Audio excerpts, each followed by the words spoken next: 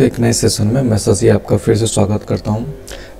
कल जब मैंने वीडियो बनाया था तो बहुत सारे डाउट्स आए थे उस वीडियो पे कि सर मैं ये कर सकता हूँ, सर मैं वो कर सकता हूँ। तो आज हम लोग उस सारे डाउट्स के बारे में बात करेंगे।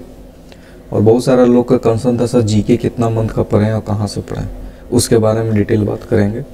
चैनल पर बने हैं तो चैनल को सब्सक्राइब कर लीजिए, घंटी के बेल आइकन को प्रेस कर लीजिए और इस वीडियो पे लगभग 2000 व्यू हैं, लेकिन सब्सक्रिप्शन मात्र 100 लोगों का है तो कम से कम आप लोग सब्सक्राइब कर लीजिए। पहला क्वेश्चन है कार्तिक का कि, sir what is the best book for this examination देखिए, अभी तो बुक तो कोई आया नहीं होगा। तो मैंने जो उस वीडियो में बताया था कि कौन कौन सा एग्ज़ाम एनालिसिस में कौन कौन सा टॉपिक आए थे, उस टॉपिक को आप यूट्यूब में बहुत सारे वीडियोज़ होंगे। उस टॉपिक को उस वीडियो से कवर कीजिए। ज़्यादा बेस्ट तरीका है। जब जब इसके बुक्स आएँगे तो मैं प्रेफर कर दूँगा। फ़िलहाल यही है कि जो टॉपिक्स हैं, जैसे रीजनिंग में जो टॉपिक्स आए थे मैथ में जो टॉपिक्स आए थे, उसको आप टॉपिक्स वाइज क्लियर कीजिए तो आपको बहुत बेनिफिट्स होगा। ठीक है? ये विनोद, रमेश पूछ रहे हैं आफ्टर थर्ड डिपार्टमेंटल एग्ज़ाम नहीं होता है क्या? नहीं, देखिए आरबीआई में ऐसा आरबीआई में मेरे एक बहुत अच्छे मित्र भी हैं, और मैंने उनसे कल पूछा भी था। कि डिपार्टमेंटल एग्ज़ाम कब होता है या होता है कि नहीं तो उन्होंने बोला कि डिपार्टमेंटल एग्ज़ाम नहीं होता है, ठीक है? आपको प्रमोशन ही मिल सकता है वो हर बोर्ड में अपना अपना प्रमोशन का रूल है। सर, मैं बिहार से हूँ और दिल्ली से फॉर्म फिल करना चाहता हूँ तो क्या दिल्ली का निवास प्रमाण पत्र चाहिए? बिल्कुल चाहिए। उन्होंने साफ़ लिखा है, आप जिस ऑफ़िस से फॉर्म फिल करेंगे वहाँ का डोमिसाइल होना चाहिए। उन्होंने क्लियर मेंशन किया है। आप लोग एक बार उसको देख लीजिए। ठीक है? जहाँ से भी आप लोग फॉर्म फिल करें, वहाँ से आपका निवास प्रमाण पत्र होना चाहिए अस्थाई हो या अगला क्वेश्चन है, नितिन सोनी का। क्या BA candidate can be apply BA यानी कि बीए कैंडिडेट यानी कि आपने ग्रेजुएशन का बात किया। नहीं ग्रेजुएशन कैंडिडेट अप्लाई नहीं कर सकते। ठीक है? रंजीत सिनम, सर सिलेबस खाली ये ही क्या दूसरा नहीं है? सिलेबस तो मैंने बता ही दिया था आपको, फिर एक इस पे डिटेल वीडियो भी लाऊँगा कि उस सिलेबस को कहाँ से कवर करना है। सोर्स भी बताऊँगा उसके बारे में, थोड़ा सा वेट कीजिए। सडाउन कहते हैं कि सर, आरबीआई ऑफ़िस अटेंडेंट का ऑनलाइन अप्लीकेशन में डिग्री सब्जेक्ट स्ट्रीम वाला कॉलम में क्या लिखें? ये अच्छा क्वेश्चन है। देखिए डिग्री में आपका, आपने तो कोई डिग्री लिया नहीं है, ठीक है? लेकिन वहाँ पे डिग्री लिखा हुआ है तो आप उसमें लिख सकते हैं टेंथ ठीक है? या मैट्रिक और सब्जेक्ट में, सारा सब्जेक्ट जो आपके मार्कशीट में मेंशन है, उसको लिख दीजिए शॉर्ट में, ठीक है? या ऑल सब्जेक्ट भी लिख सकते हैं। और स्ट्रीम में जिसका साइंस स्ट्रीम है तो सब तो साइंस ही स्ट्रीम होता है। कि टेंथ में तो पढ़ना ही है सब सब्जेक्ट तो आप यही लिख सकते हैं टेंथ या मैट्रिक लिख दीजिए या सारा सब्जेक्ट का नाम लिख दीजिए, वो बेटर है। मेरा ग्रेजुएशन हो गया है। जब हो ही गया है तो नहीं अप्लाई कर सकते हैं। आशीष तिवारी सर, मेरा 2020 में बीएससी लास्ट ईयर कंप्लीट हो गया है बट फाइनल मार्क जब आप बोल रहे हैं कंप्लीट हो गया है तो एक फरवरी 2021 तक जिनका भी फाइनल रिज़ल्ट नहीं आया है, वो अप्लाई कर सकते हैं। इसके बाद अगर फाइनल रिज़ल्ट आ गया है तो अप्लाई नहीं कर सकते। याद रखिएगा इस बात को। मेरा इस ईयर फाइनल ईयर है, क्या मैं अप्लाई कर सकता हूँ? अगर रिज़ल्ट आपका एक दो दो हज़ार इक्कीस तक नहीं आया है तो बिल्कुल अप्लाई कर सकते हैं। सीमा पांडे जी, आराम से अप्लाई कीजिए। जे के बक्सर बोलते हैं, सर, मैं बिहार से हूँ। बक्सर नाम है तो पक्का बिहार से ही होंगे।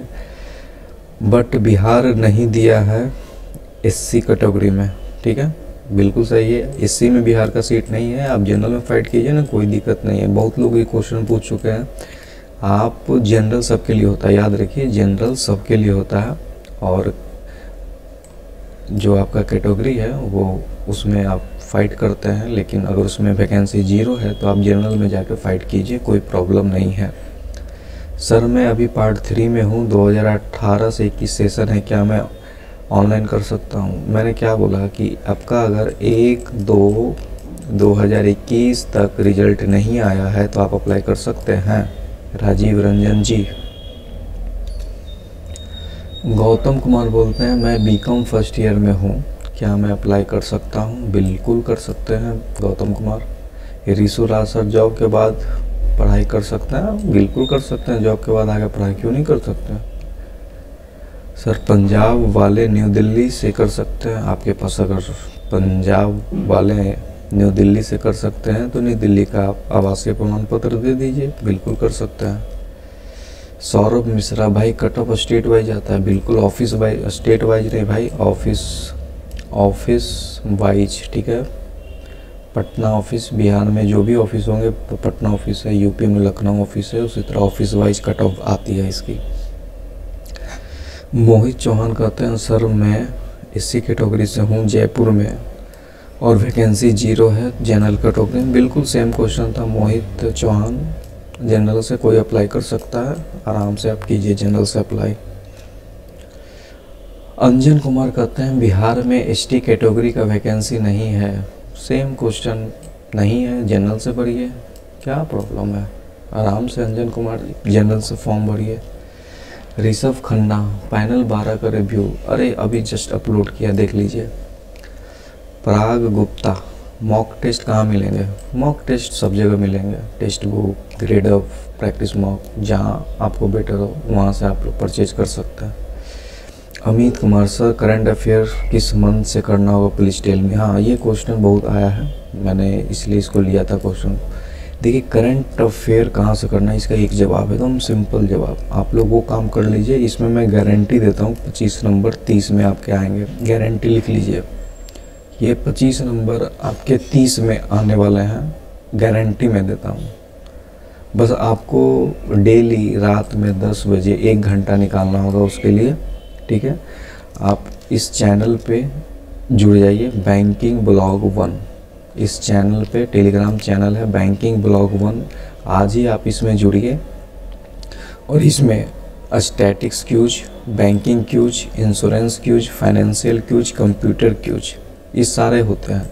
और स्पेशली इसमें आपके जो भी अटेंडेंट के सिलेबस उसके हिसाब से डिज़ाइन किया जाएगा, ठीक है? डेली रात में 10 बजे आप एक घंटा टाइम निकालिए, मैं गारंटी देता हूँ आपका 30 में 25 नंबर आएगा। ठीक है? अभी से, आज से आप एग्ज़ाम तक इसको फॉलो कीजिए। और पता है इस पर बेनिफिट्स क्या, लोग इस पर क्यों जुड़ते हैं?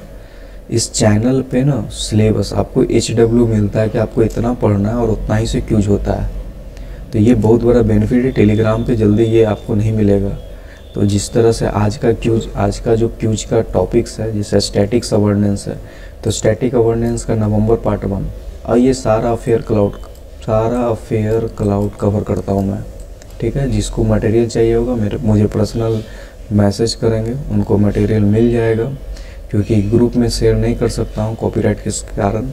ठीक है? तो ये स्टैटिक नवंबर वन, यानी कि नवंबर वन, यानी कि तीन पार्ट में बांटता हूँ, पचास पचास, डेढ़ डेढ़ सौ क्वेश्चन होते हैं तो मैं तीन पार्ट में बांटता हूँ वन टू थ्री में, यानी पहला पचास क्वेश्चन सेकंड का पचास क्वेश्चन थर्ड का पचास, यानी डेढ़ सौ क्वेश्चन कवर करता हूँ।